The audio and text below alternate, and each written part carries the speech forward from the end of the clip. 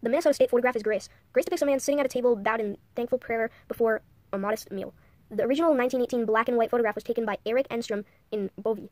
Enstrom's daughter later re- reproduced it as a, color, as a color painting, leading to its wide distribution in homes and churches throughout the